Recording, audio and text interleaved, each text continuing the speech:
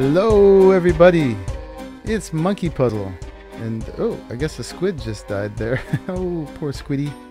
Anyway, uh, welcome to episode number six of Monkey Puzzling the Crack Pack. And last episode, which I recorded just a few minutes ago, we overhauled our storage system and completely redid it. We had a whole matrix of resonant strong boxes here, and now we have an ME storage system. So really moved up. Got tons of stuff here from all our dungeon crawling below and some caving and ravining and stuff that I have done. So now that we've got all this set up, one of the other things we did last time is we made this Tesseract and this Ender Quarry. So we're going to go ahead first off and go set those up and get some more resources coming in here. So in order to do this, I have made a bunch of fences, a bunch of vanilla fences, because that's what we need to uh, set up these Ender Quarries. They're new. Uh, to me, I used them a little bit at the end of last episode but I didn't actually end up recording that bit. So we're going to do it on camera for the first time today. So I'm going to go around and find a biome that I want to turn to dirt underneath. I'll explain that in a minute and I'll meet you there. Okay, I looked around and I think I'm going to do it right here. Uh, below us we've got tundra Tundra, according to the ftbwiki.org, has tanzanite, which is one of the four uh, four gems, I guess they are, that come with biomes of plenty. And those are used once you have all four of them to get to the promised land. And we'll do that eventually. And over here, the maple woods, they have emeralds, which of course are very useful. So we'll get a little tanzanite, we'll get some emeralds. I think I'm going to grab this space right here too and get some sand because I'm going to need that. Now, if you're not familiar with ender quarries, uh, they work differently than your standard buildcraft quarry. So let's put down an angel block. Oh, about, we'll grab it right here. And that's going to be our starting point. Now, an ender quarry, what it does differently is instead of digging out the whole area in a block, which would be terrible to start here with a buildcraft quarry because we'll end up with a big square pit right here, which would destroy this beautiful landscape. Instead, what an ender quarry does is it goes through everything and replaces all non-dirt with dirt, and it leaves anything natural alone. So this will be pretty much the same, except this will all be dirt. The trees will be unharmed, and the formations will still be the same we just, uh, yeah, won't have sand or gravel or stone. Uh, instead, like I said, there'll be dirt. It looks like we'll get some quarried stone over there too. We'll see. And the advantage of these is that it's really it doesn't create any lag on the server, or at least way less lag than the quarry does, and you don't have to clean up afterwards as far as stopping flowing water and and and such. So the way you do this is we got to outline it with vanilla fences. And I've got eight stacks plus right here in case I lose some. And that is going to give me a 128 by 128 quarry. So that's like four Buildcraft quarries. And you can, there's no limit on how big you can make the ender quarries because of the way it works it only loads the chunks it's actually replacing at the time. Um, so it won't be too big of a load on the server as far as chunk loading, but it does chunk load what it needs. And it digs down in a column each time. Can I just do that? Yeah. Next time I do this, I'm going to have a computer, uh, a, a, turtle that does this for me, but I'm too lazy to program that right now. Anyway, I'm going to go ahead and make the whole perimeter of fencing and then I will get back to you when we're going to place the quarry. Okay, there it is. That didn't take too long. So we got 128 by 128. Let's take out this angel block right here. And go ahead and put the ender quarry in there. And hopefully that worked. Let's go ahead and can we click on it? Yeah, successfully established boundary. Mining at those coordinates. Zero block scan, zero complete. So what it needs next is power and a place to send items. So I think all I got to do is place this tesseract and we're good to go. It sends items and receives energy. So let's click this again. And not sure if that, oh, silly me. I didn't set a frequency for the uh, Tesseract, so that's something I definitely have to do. I think I'll pick uh, number 13 to start with, maybe 17, it's even cooler. And that will be, we'll make these uh, private only because it will keep other people from being able to access the same frequency accidentally, I think. And so this is going to be uh, items and power and then so we'll set that and add that and then I have to go back and set the other one. Oops. Hit that. That's the uh, toggle key for dimensional anchors. So I have to change that key. Alright I'm gonna go ahead and set that and come back and we'll see if it's working. Okay back at the base. And if I do this right let's see owner only items and power click. If I did it right, stuff would start coming in through here. Um, oh, yep, there is. There's stuff. We got cobble going right into the deep storage unit. Something went over here already. Got some sand, yep. And excellent, it's working.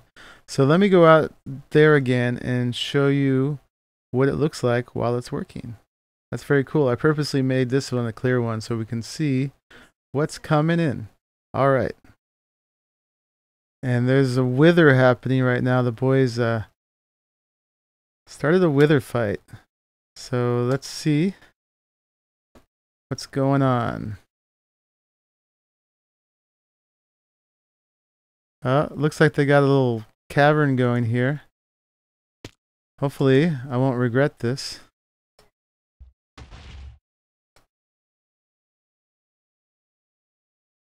I must be over here somewhere. Okay. First wither I've seen on this server.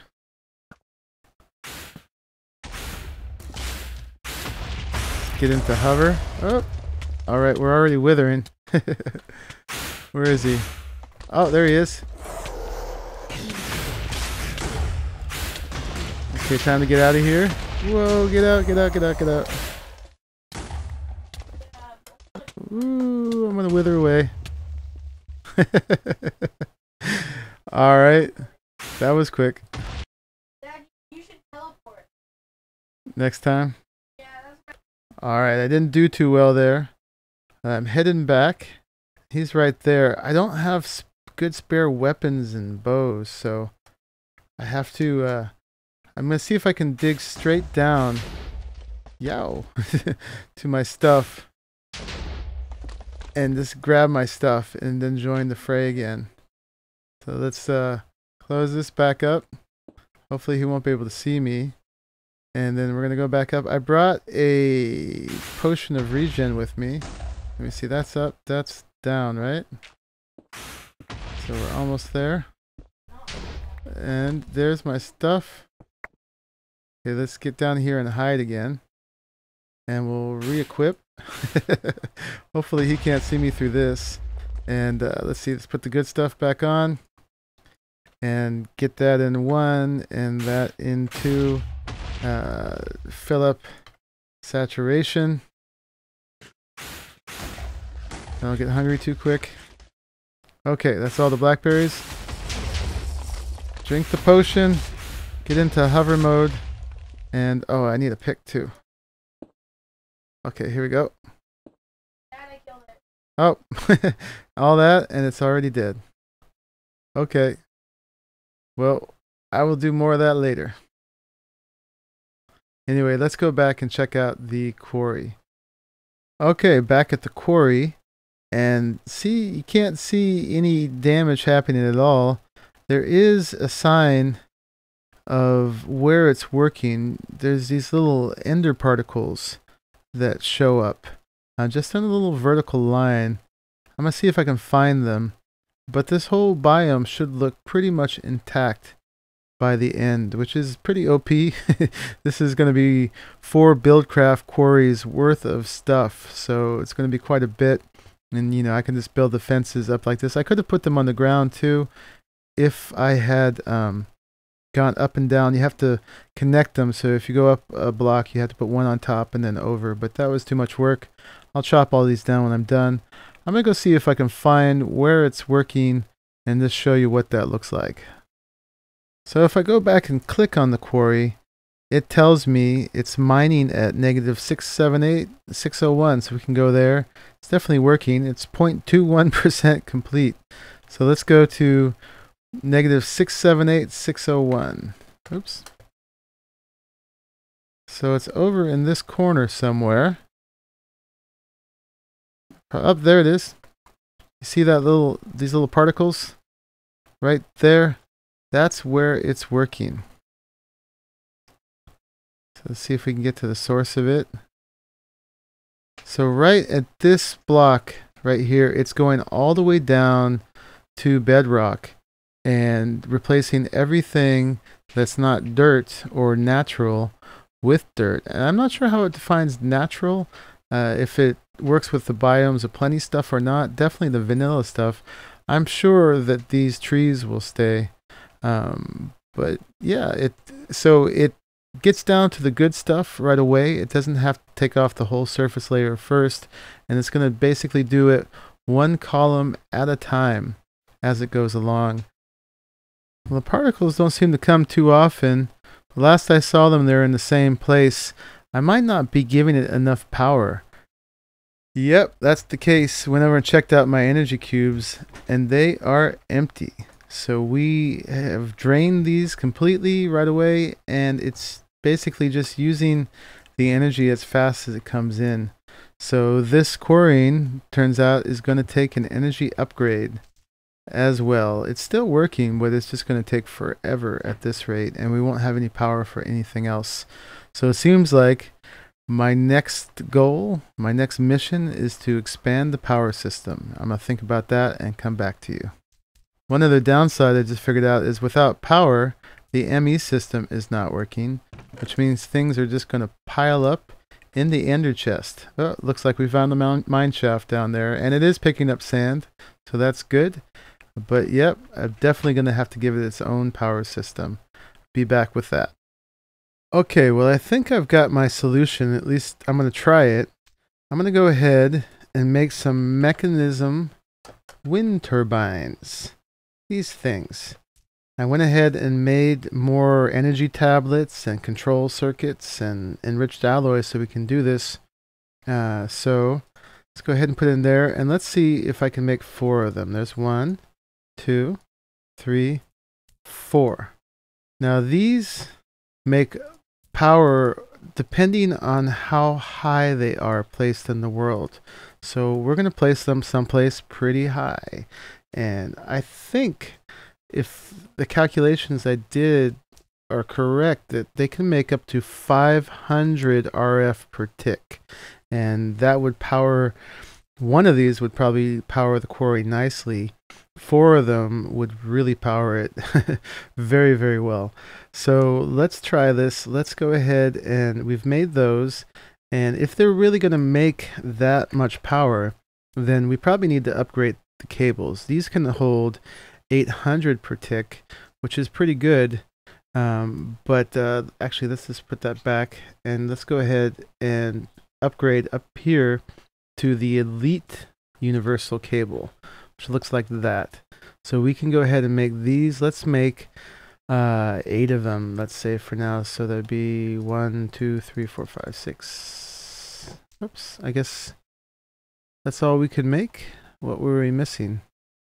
The elite. Oh, they have the basic in the middle. I was thinking they had the advanced in the middle. Oh, that is the basic. Okay, how many did we get? We got four. I want to make a few more. We'll need eight. Uh, let's make 16 for now. Throw it back in there. And then we want let's go back to cable. And the elite cable, there it is. So I wanted about eight before. So th there we go. And let's take all this stuff. And this is going to be a temporary placement. Um, but I think this is the spot on the map where he's going to go. Let's go over here to the top of our little Alp pinnacle. Do you remember this place? Oops, do I got my jetpack on? I do. Oh, but it's disabled. That's not, this is not a good place for it to be disabled. Anyway, it takes a while for the world to load in here, but this pinnacle goes way down. We're way above cloud level, so this has to be high enough to get the maximum power for the wind turbines. But we shall see. I'm not sure where they should go. Uh, let's go ahead and put them back here for now. And like I said, this is going to be temporary configuration. I'm going to make this nicer once we build a base out here. But uh, let me yeah, just make some space. I'll have two of them over there. And we'll have two of them over here. Let's give a block extra so we don't fall off. Uh, so. Okay, and I've made two more tesseracts. So let's put the tesseract in the middle and then go ahead and set up these wind turbines and see what they look like when we place them. Kaboom. So hopefully this is a high enough altitude. Put another one. Although that doesn't look very good, huh? They're too close. Let's separate those out a little bit. Hopefully I can just break this like that. And I got it back. Good. And let's just give this a little bit more space. Um, we only have this much cable for now, so I guess that determines how far these can be out. Uh, not really that far, so we'll put it here for now. That's a little better. That's kind of wrong, but we'll we'll adjust that later. I don't want to go back and make more cable right now. And let me go ahead, put that there. And let's just open this up more this way too. And go ahead and place that down. All right, so hopefully that's generating a lot of power. We click on it it is making 192 RF per tick. So that's pretty good. It's not quite uh, 250. I wonder if they even went higher, if that would do it. But I think this is going to serve our needs for now. So let's go ahead and configure this to, we're going to go to private only like we did before. Let's see, this last one was 17. So let's make another one that is 13, I guess. And this will be wind power. Capitalize it nicely. Wind power. And we'll click that and we'll add it. And then for the configuration, we want it to be, it's sending, so that's items, no items, no fluid, and we want it to be sending energy. There we go. And we'll do the opposite on the other side. So hopefully that's it. And oh, turn that off. Okay. So this one, 192, 192. And get my little calculator. 192 times 4. That's 768 RF per tick. So that's a pretty nice addition. And we could add two more on either side pretty easily. So let's go back and come on through and place the other tesseract. Let's see. I could just do a separate system. I could just add it to the quarry. That would be decent for now. Or I could put it up over here and have it supplement this whole system. Uh, let's do it, use it as a second separate power source for now. Ah. So get through here. And this one, we're going to adjust for the items in power. We're going to have it not send energy anymore. So it's just going to receive items. So this is going to be a two pair of Tesseract operation for now. I'm sure I can do it better in the future. I could probably have this on a separate line or blah, blah, blah. Anyway, let me get back out to the quarry and we'll get it going again. Let me go back real quick before I go out because I had forgotten I had switched this one off. So we want to make sure that it's operating. It's just receiving items. So that's good. We're good to go. I'm going back out. Okay, back out at the quarry. Switch to hover mode. Let's adjust this one first and make sure that it's it's sending items and it's not receiving energy. So that's just the item tesseract. And now we're going to add our second tesseract and see if I can do this. Point and it is going to be set to go to the just the uh, owner only menu. And we'll go to wind power. We'll click that and configure this to be it's we don't want to do any items. We don't want to do any fluid. We want to just receive energy. Click it again just to be safe.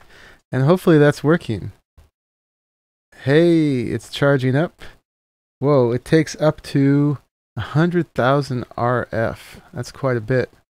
And but it seems like it is storing more than it's using. So that's pretty cool. Let's go back.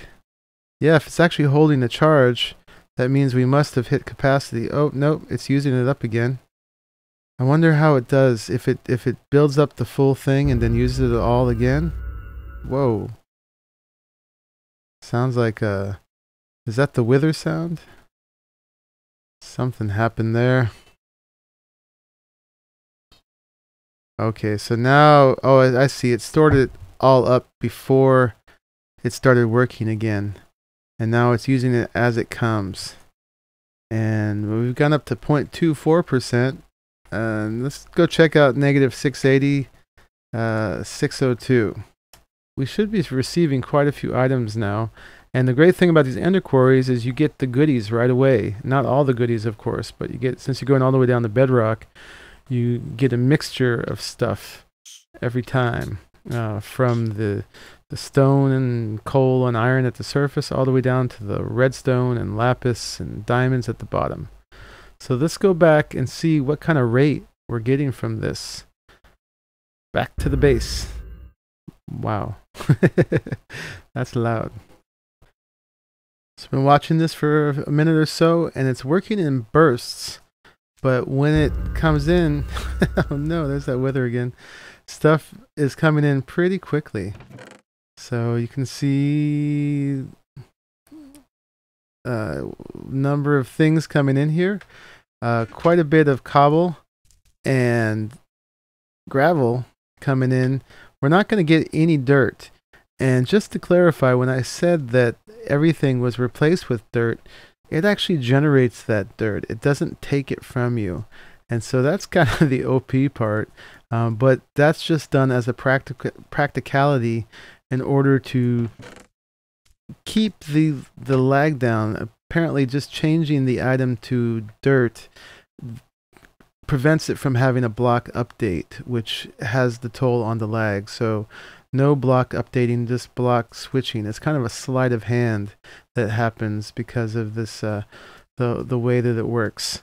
So that's pretty cool. And of course, you know, I'm not going to uh, capitalize on that. I'm not going to go in there and then mine a bunch of dirt out because uh, just we're not going to need it like that. And there's plenty of dirt in the world anyway, so it's not giving you extra dirt in a sense. It's just kind of keeping the terrain intact. Anyway, that's all that uh, justification. anyway, this is probably working fast enough, but it's still not working at a constant rate. Those wind turbines were cheap enough. I think I can go ahead and just throw some more of those up on the uh, out peak, whatever we want to call that place. and see if that uh, makes it even more constant. And just for science, I did an experiment, and that's as high as I can place a block. That's 256. And then this was the highest these would let me place them. And they're still making 192 RF per tick, which is very respectable uh, amount of power, especially for free. And, well, you know, it's using the wind. That's valid. So those are making as much as they need to down there. So I'm going to go ahead and take these off and put everything back together down there. Okay, I think that ought to do it. We got nine of them. If that's not enough power, it'll have to do for now. So, and this is still a temporary configuration. And one other note is I noticed that when I hit record, the blades slow down quite a bit and they're way faster when I'm not recording. So that definitely has an impact on the animation. But I think that looks pretty neat. Should be enough power. Let's go check the other stuff out. Okay, stuff's coming in at a really good clip now. And I don't think that these are limited in thermal expansion 3, but I'm not sure. Hopefully these aren't bottlenecking all that power. We'll have to figure out figure that out. If anybody knows, let me know. But so far from my research, they're not supposed to. They're I read that they were supposed to handle up to 10,000 RF per tick. So it's looking pretty good. That's quite a flow. I'm going to visit the quarry one more time and then I think we're going to sign off. All right, and this is looking good. It uh, is maxing out at its total capacity to hold energy, which means we're generating more energy than it can use. So we could probably take this off now and run it through our main power system because we're probably generating the surplus at this point. So that's excellent. Click on this. Hey, we're approaching 1% complete. And that's, of course, you know, we're doing so much. And once we do the these uh, this thing, this capacity of four normal buildcraft quarries at their maximum, we'll probably have enough resources to do quite a bit of things we used up almost all our resources getting this done. Not all of them, but of certain things we were definitely maxing out, getting low on. So this is good. We're going to stock up and we're going to work on the modular force field system in the next episode. So get ready for that. I'll see you then. And I'm going to sign out now.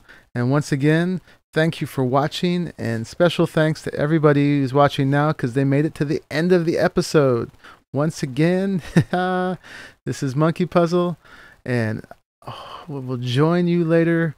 Bye bye.